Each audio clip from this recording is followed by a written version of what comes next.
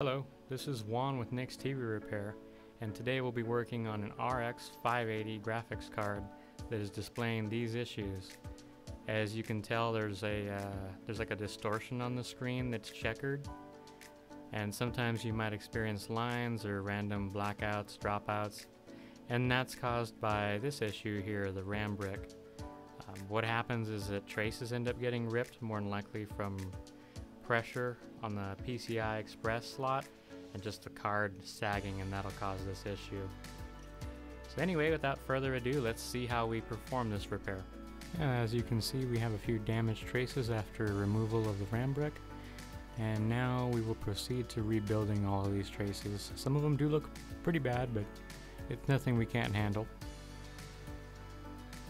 Alright, so I'm going to begin by adding a little bit of flux to the damaged trace area and then after this I'm going to select a trace that'll fit in this area just right.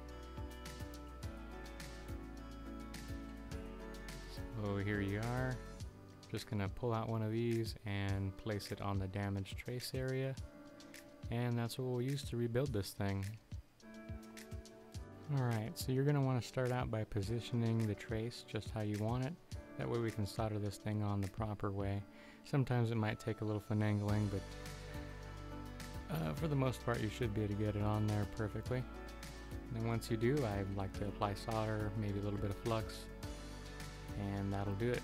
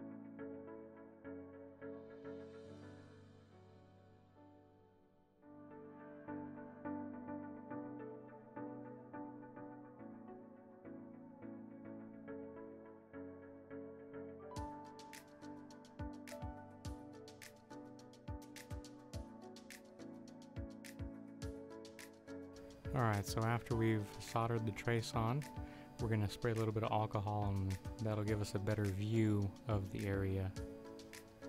And as you can tell, it's looking pretty good, and we can move on to the rest of the traces.